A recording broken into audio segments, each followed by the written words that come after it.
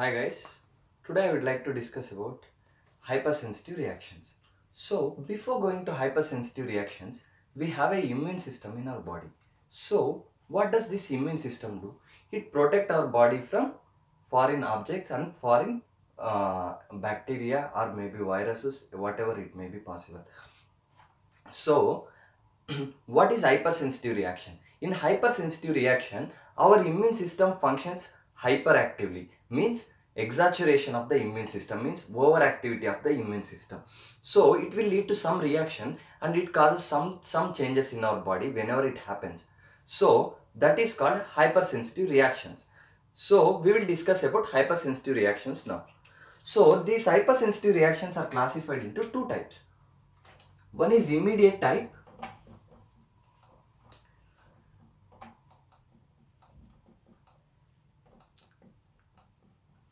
The other one is delayed type. So based on duration, we classified them, them into immediate and delayed. So immediate hypersensitive reactions include type 1, type 2, type 3 and these are mediated by humoral immunity. And delayed includes type 4 this is mediated by T cells. Alright, we understood the mediators and types. So, we will start with type 1 hypersensitive reaction. So, type 1 is also called as anaphylactic reaction, right?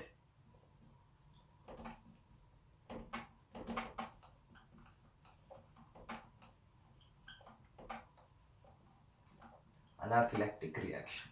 So, what happens in type 1 let's take a person. For example he is allergic to some drug we say right? So what happens? This type, type 1 uh, hypersensitive reaction happens in three stages. So how does the first stage occur? It starts with an antigen sensi sensibilization. What is antigen sensibilization? So it is nothing but patient get to contact with the antigen for a first time. So, first time contact, what it does? It causes antigen sensibilization. What happens in this process?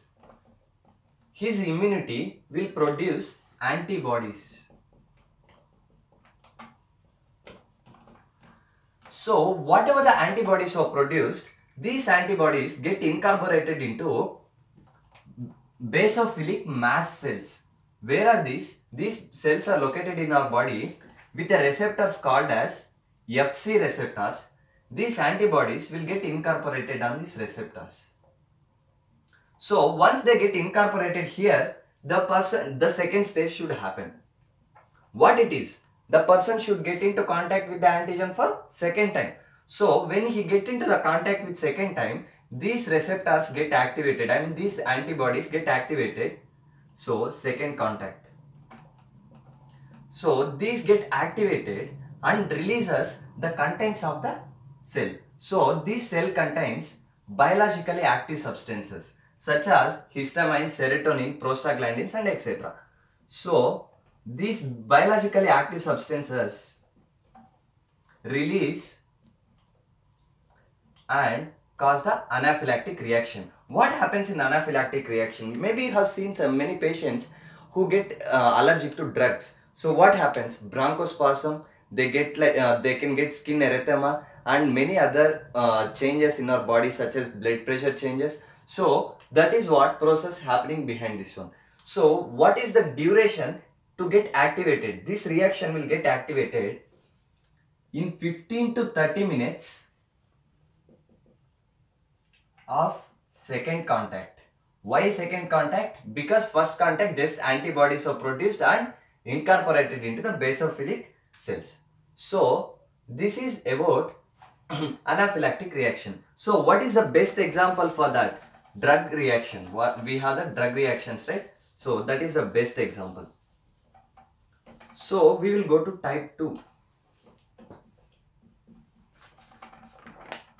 Type 2 same, it get activated within 15 to 30 minutes but it is not about second contact here. We already have antibodies in our blood. So this system get activated easily.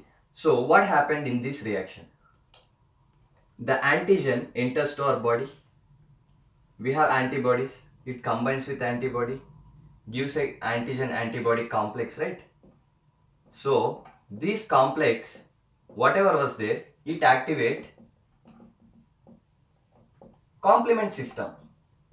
So this complement system, whichever was activated, it will lead to phagocytosis.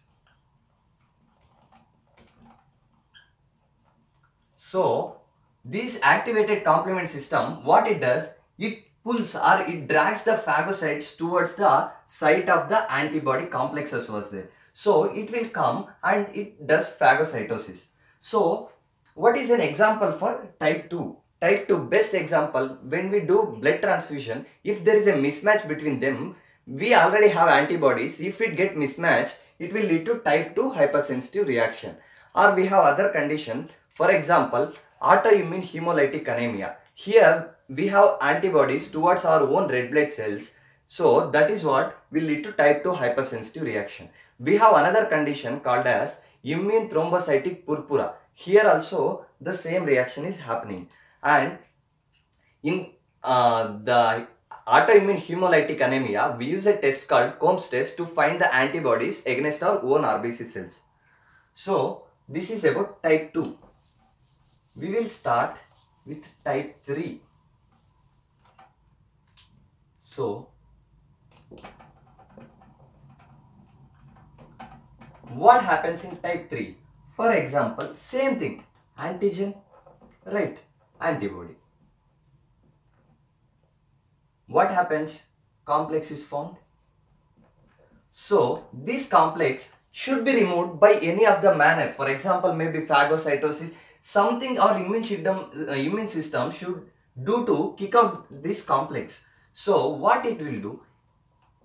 This complex formed and our immune system failed to push it out. fail to remove it. So once our immune system failed to remove the uh, uh, the antigen antibody complexes, what will happen? So this is also called as immune complex.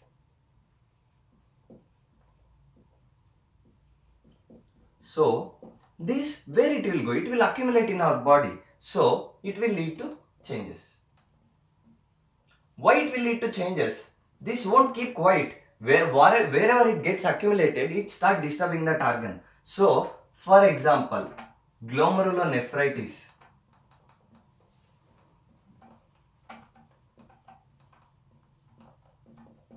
So, what happens in glomerulonephritis? These complexes accumulates in the kidney. So, this will lead to glomerulonephritis. We have another example, systemic lupus erythematosus.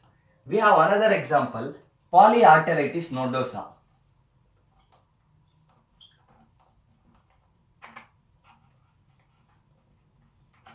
So, what do you think happens in polyarteritis nodosa? The same thing happens in the vessels. These immune complex get accumulated in the vessels leading to the uh, changes in our body. It is about this reaction starts to happen approximately 6 hours from the complex formation. So once it fails to remove then it will start accumulation. So it will need at least 6 hours maybe. So these were the immediate type of hypersensitive reactions. So we will go to type 4. Type 4 was delayed.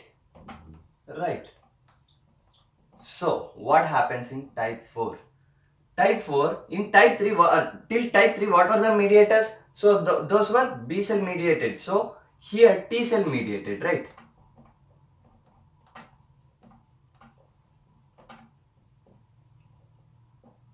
so what this t cell mediated does what happens once antigen enter to our body this starts to react and it will form antigen receptor, receptor cells. So, antigen reception or presenting cells. So, these activated antigen presenting cells will take the information to the lymph node. So, once the information is carried to the lymph node, what our lymph node does with the help of T helpers. With the help of T helpers, they release one substance called cytokines. What are those called? Cytokines.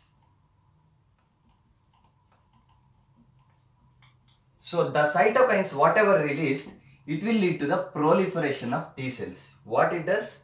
Proliferation of T cells. Proliferation is nothing but getting increased in number and it will produce T cells and macrophages against. So here was our antigen. So this will go and attack this. So antigen entered, this much process happened. It will take at least 24 hours to show the reaction on our body. So what is the best example for type 4 hypersensitive react reaction? We all know one test which is done for tuberculosis. It is called Mantoux test. So when we give Mantoux, uh, we in Mantoux tuberculin, tuberculin is injected to the patient and we wait for at least 24 hours minimum and we see the reaction changes based on what uh, the how reaction was produced we diagnose the TB so this is one of the method to assess the TB so this is about hypersensitive reactions. Thank you